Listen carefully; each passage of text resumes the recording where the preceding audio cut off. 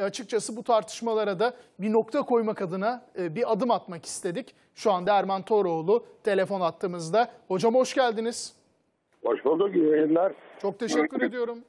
Ee, gerçekten e, ne söyleyeceğinizi çok merak ediyorum. Ee, özellikle kural hatası beklediği bir değil iki pozisyon var Fenerbahçe'nin. Bir taç atışı konusu e, söz konusu.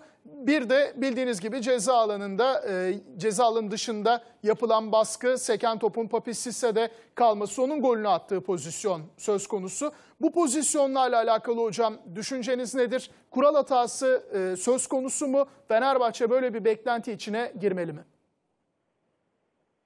Bence e, bu olayların çıkmasına sebep bu kural hataları değil.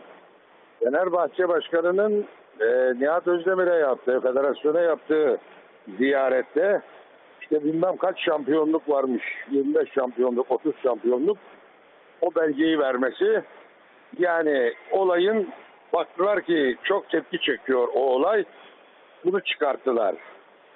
O zaman bakalım kural hatası var mı? Şimdi tabii görüntüler verilmediği için o 3 dakikalık görüntüler verilmediği için bu işler hep havada konuşuluyor. Halbuki görüntü olsa çok daha net konuşulur. Yani bu koyun dün gece kesilirdi. Bu işte biterdi. Ama nedendir bilinmez bir türlü çözemiyorum 3 dakikalık görüntülerin verilmemesini. Türk insanına bu zulmü niye yapıyorlar? İnsanlara kahvelere ne bileyim gece kulüplerinde dahil sokup da maçlar alkollü yerlerde, sigaralı yerlerde seyrettirme zulmünü görüyorlar onu anlamıyorum. Yani paran varsa seyredersin, paran yoksa sen öl manasına geliyor.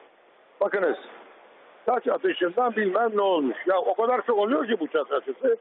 Bu olsa olsa hakem hatası olur. Yerinden atılmadığı zaman evet başka oyuncunun kullanması lazım. Yani başka oyuncu değil rakip e, rakip takımın kullanması lazım. Ama Türkiye'de atılan taşların 100 taşın 80'inde hata var. Hem atılış şeklinde hem atılış yerinde. Onu geçiniz. Bir. iki. Bakınız bir kural çıkıyor ama sonra FIFA sirküler yayınlıyor. Diyor ki oyun çabuk başlasın diye bir futbolcu, e, kaleci avut atışını arkada, arkadaşına verebilir ceza alanı içinde. Ama o arkadaşını rakip futbolcu rahatsız etmeyecek. Peki buradaki olay ne? Buradaki olay Fener kalecisi arkadaşına topu veriyor ceza alanı içinde. Topu alıyor. Fener oyuncusu topu eveliyor, geveliyor, döndürüyor, döndürüyor.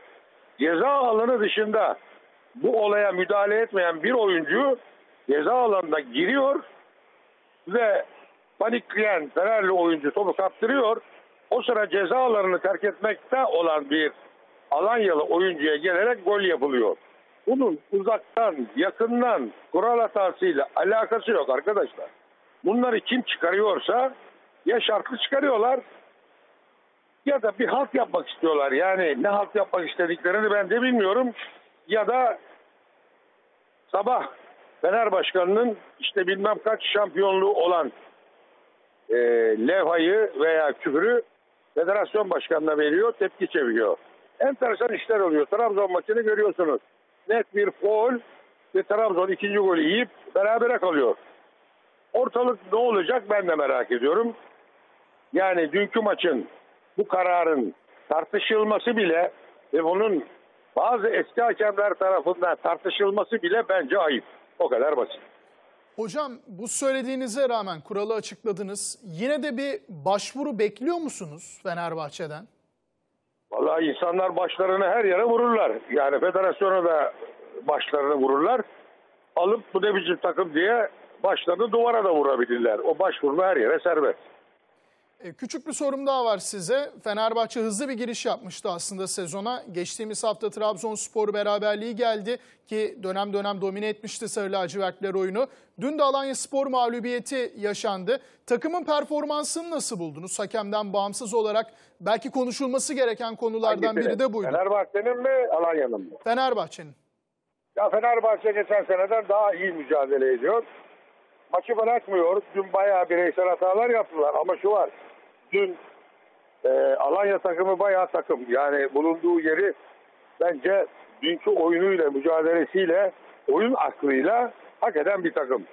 Fenerbahçe'nin daha çalışmaya ihtiyacı var. Bayağı bir çalışması lazım. Hocam Alanya Spor 4'te 4'le hakikaten çok sağlam bir giriş yaptı. Sezona liderlik koltuğunda 4 puan farklı oturuyorlar. Ee, Erol Bulut'un takımı sizce bu gidişatı ne kadar sürdürecek?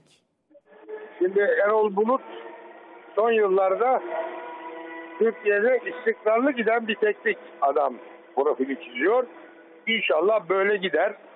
İnşallah da bazı güçler Alanya'nın yolunu kesmeye kalkmazlar. Ve e, biz de bir Alanya Spor gibi bir takıma sahip oluruz. Hocam çok teşekkür ediyorum görüşlerinizi bizlerle paylaştığınız için.